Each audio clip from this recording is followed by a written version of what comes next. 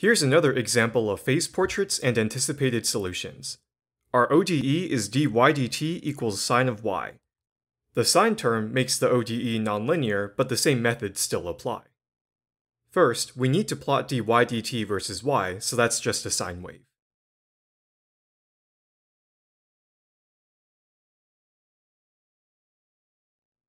Next, we find the fixed points.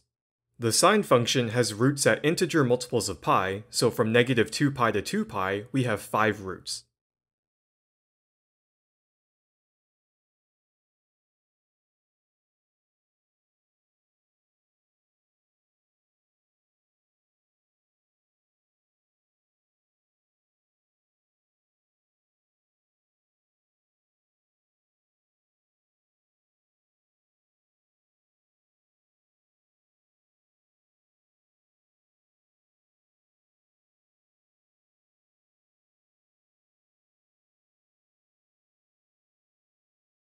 Now we want to determine the stability of each fixed point.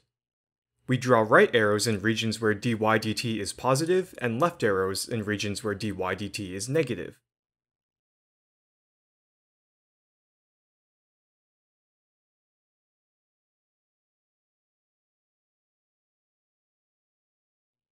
One really important but valid assumption that I'm making is that at the endpoints, the function will just continue as normal, which is why I drew these extra arrows at the very end.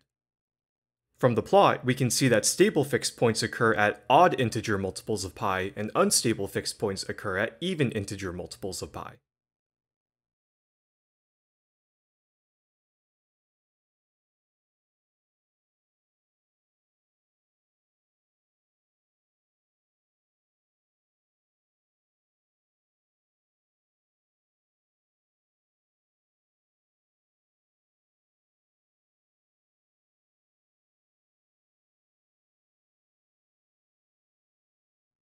We're done with the phase plot, so let's move on to the anticipated solution.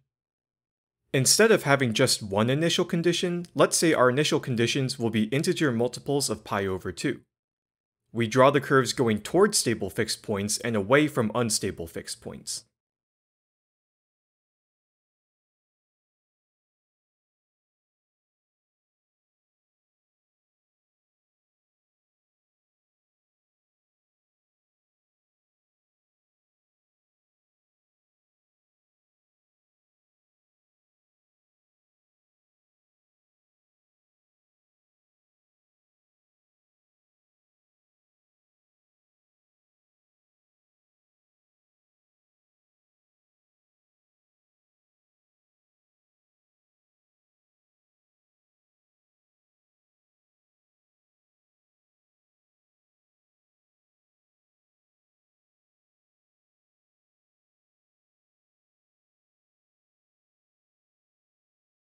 I apologize for the cluttered graph, but that's our phase portrait and anticipated solution.